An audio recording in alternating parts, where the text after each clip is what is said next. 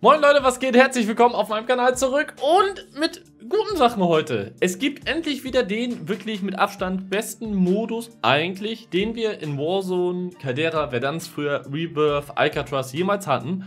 Und zwar Iron Trials.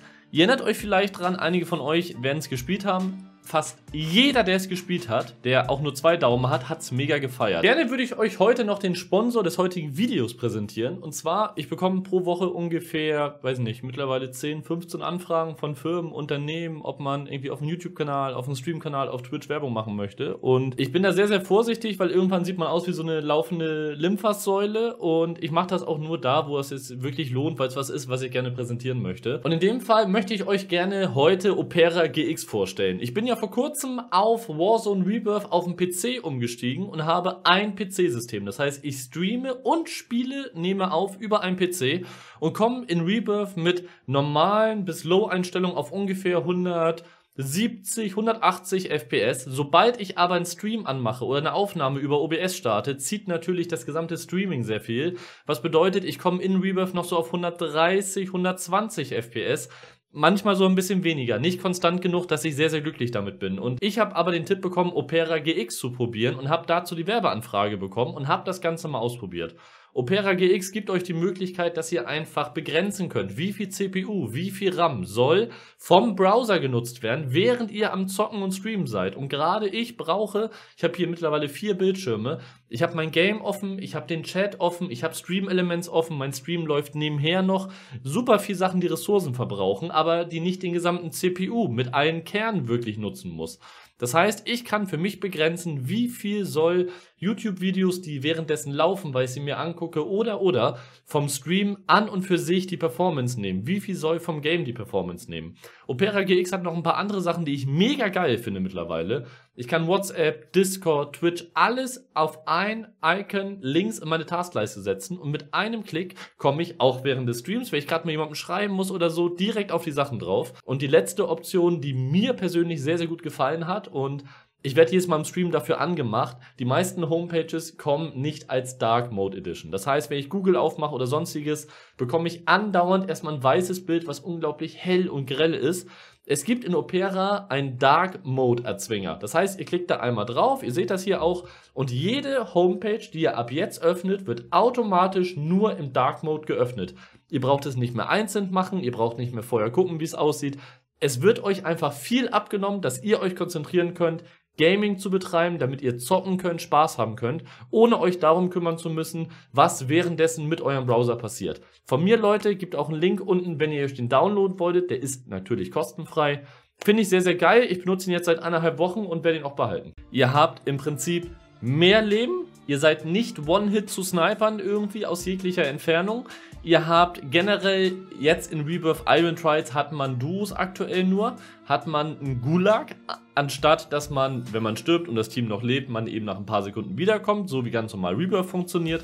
Und in Iron Trials damals war es eben auch schon so, ihr bekommt kein automatisches Loadout, ihr müsst euch das Loadout kaufen, es gibt anderen Bodenloot und und und. Das heißt, die gesamte Erfahrung mit einer viel höheren Time to Kill oder niedriger, nee, höheren Time to Kill als das, was wir eigentlich kennen. Und ihr seht so ein bisschen im Hintergrund, wir haben ein paar Runden da gespielt. Und da kommt jetzt erst das Gute und dann auch noch das Negative dazu. Aber kommen wir zu Iron Trials zurück. Also, damals Iron Trials hat wirklich von Streamern, Spielern, Zuschauern, sonst was richtig, richtig Props bekommen. Da haben sie einen richtig geilen Modus rausgebracht.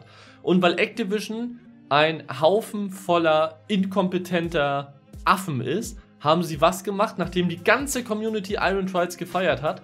Richtig, sie haben es nie wieder rausgebracht. Es kam einmal raus, eine Featured Playlist und danach kam es nie wieder.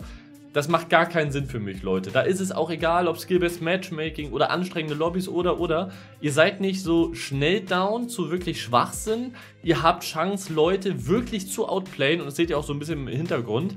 Richtige Gunfights sind Gunfights. Es kommt wirklich drauf an, nicht mehr wer schießt zuerst, sondern wer hat vielleicht das bessere Aim, die bessere Position, wer ist im Slide Cancel, wer hat vielleicht die Kamera vom anderen gebrochen und und und und.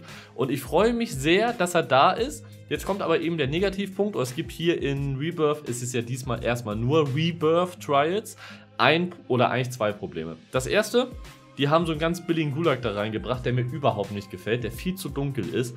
Da verstehe ich einfach nicht, warum man es nicht so macht. Anstatt diesem Gulag für euch, ihr müsst euer Teammate wieder kaufen, wenn er gestorben ist. Wenn ihr genug Geld habt, könnt ihr ihn kaufen. Genauso wie ihr eben aber auch Geld für Loadouts ausgeben müsst. Ihr kriegt es nicht umsonst nach ein paar Minuten, zweimal insgesamt. Und was auch dazu kommt, ihr sammelt viel weniger Geld auf dem Boden ein. Das heißt, das Ganze ist viel mehr competitive als das, was sonst Reverve normalerweise ist. Jetzt kommt aber das, was mich wirklich nervt. Warum bekommt man nicht einfach Wiederbelebung oder eine Chance zum Wiedereinstieg, anstatt einem Gulag, der zu dunkel ist, der auch gefühlt innerhalb von zwei Minuten von einem Praktikanten hergestellt wurde. Es macht für mich gar keinen Sinn. Und Leute, ich weiß, einige von euch mögen Rebirth Iron Trials. Schreibt es in die Kommentare, wenn ihr es mögt. Es geht nur um meine Meinung und ich will ein bisschen zeigen, wie man es deutlich besser hätte machen können. Auch wenn Activision natürlich nicht auf mich hört, aber das dürfte keinen mehr überraschen. Das zweite, was mich richtig, richtig stört daran, und das stört mich eigentlich am meisten, um ehrlich zu sein, warum nur Duos? Warum gibt es nicht Caldera mit Iron Trials? Warum gibt es nur Rebirth Iron Trials Duo? Warum nicht als Trio? Warum nicht als Squad? Gerade Iron Trials Squad ist ein so bombastisch geiler Modus. Wenn ihr mit drei richtig geilen Kumpels von euch oder Kumpelinen zockt und alle haben mehr Leben. Es, es, gibt richtige Gunfights, die länger als eine halbe Sekunde gehen, weil die Time to Kill höher ist. Ihr habt doppelt Leben, alles Mögliche. Wisst ihr, wie geil es ist, wenn man da taktisch vorgeht oder wenn man eben auch meinetwegen zu viert voll draufhaut und ein Team auslöscht? Ein unglaublich geiles Gefühl und ich bin ein Riesenfan davon. Es gibt aktuell nur Rebirth Duos. Das macht für mich gar keinen Sinn. Das ist wieder überhaupt nicht durchdacht. Das ist einfach wieder ja reingeschmissen, gucken, wie es ankommt, obwohl sie wissen, wie es ankommt, weil es eben in Verdansk so schon gut angekommen ist. Jetzt hat man es ein bisschen geändert, der, das Grundprinzip ist aber dasselbe. Und dazu kommt, was ich auch nicht verstehe, anstatt in Caldera, was sowieso schon weniger spielen, Leute dafür zu interessieren und dort Iron Trials auch einzuführen, haben sie folgenden Switch gemacht jetzt vor kurzem. In Caldera habt ihr jetzt 50 Leben mehr. Das heißt, ihr habt 50 mehr Leben. Time to Kill soll dadurch ein bisschen erhöht werden, weil es zu schnell ist. Ihr erinnert euch an das Video von mir, als sie berichtet haben, dass die ADS-Time, wie schnell ihr im Scope seid, langsamer werden soll, damit es ausgeglichener ist und damit die Leute nicht so schnell sterben. Da haben alle damals gesagt, es sorgt doch aber nur dafür, dass die Leute, die eh passiv spielen und campen, sowieso im Vorteil sind, weil wenn wir aus dem Sprint erst zielen müssen, während ein Camper irgendwo steht, die Time to Kill bleibt ja die gleiche. Ich brauche aber länger, um ihn zu töten. Ich muss ja die Time to Kill der Schüsse berechnen und die Zeit, wie die Waffe braucht, damit sie im Scope ist. Das heißt, es hat gar keinen Sinn gemacht, dass sie das geändert haben. Haben sie auch über Vanguard, Cold War und eben Caldera Warzone gemacht. Und jetzt kommt noch dazu, dass sie einfach nur das Leben um 50 erhöht haben. Und das Problem daran ist folgendes alle Waffen sind ja irgendwie auf ein Maß gebalanced, dass es eben Sinn macht, dass die Time to Kill ungefähr, auch wenn es immer wieder Ausläufer gibt, weil sie inkompetent sind, zu schnell sind. Dadurch, dass man aber die Waffen so gelassen hat und nur das Leben einfach um 50 erhöht hat, sorgt es jetzt für folgendes. In Rebirth Iron Trial zum Beispiel gibt es eine neue Meta. Habt ihr wahrscheinlich gesehen. G43 SVT. Ihr könnt euch später bedanken. Probiert es mal, Leute. Das Problem als auch, einige Waffen brauchen jetzt einfach ein Schuss mehr. Zum Beispiel die BAR, die mit Aufsätzen über 50 Schaden macht. Andere Waffen brauchen aber drei bis vier Schuss mehr. Was eben das Problem ist, man hat die Waffen nicht geändert, sondern nur das Leben in Caldera. Und das, Leute, ist wieder so, so unfassbar dumm und so unfassbar kurz gesichtet und null nachgedacht und nicht mit der Community gearbeitet. Und ihr glaubt oder ihr braucht nicht glauben, dass bei Raven Software oder Activision oder wer auch immer da jetzt verantwortlich ist, jemand auf die Idee kommt oder sich es auch nur vornimmt, dass eben die einzelnen Waffen in Caldera gebalanced werden. Das wird nicht passieren. Was passieren wird, wir werden jetzt so erstmal weiterleben müssen. Ihr werdet jetzt in einer Woche ungefähr hören, dass die Season 3 sich verschiebt was gar keinen mehr wundern sollte, ich habe den Multiplayer sowieso aufgegeben. Sie haben nämlich im Battle Pass Timer, wo immer steht, bis wann der Battle Pass ähm, durchgespielt sein muss, vorgestern aus 33 Tagen 50 Tage gemacht. Haben sie natürlich noch nirgendwo äh, verkündigt. Warum auch, wenn man es jetzt schon weiß, warum soll man es jemandem sagen? Das werden wir höchstwahrscheinlich wieder nächste Woche erfahren. War, äh, Vanguard, ganz ehrlich, ist tot. Warzone Caldera ist tot, Rebirth ist mit dem Skill-Based Matchmaking mehr anstrengend. Mit den Cheatern habt ihr auch schon gesehen als alles andere.